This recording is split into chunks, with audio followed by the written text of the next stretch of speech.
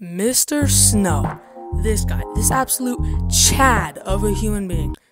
Not not Peter. Pe- forget about Peter. Peter. Mr. Snow. This guy is currently my high school biology teacher. Oh man, he is a Chad. I trust this man with my life. Probably shouldn't. I have a feeling he doesn't like me very much. But I recently found out he has a YouTube channel. And um what? Yeah, uh we're getting smoked, you guys. We're trying to get the 300. That's our goal.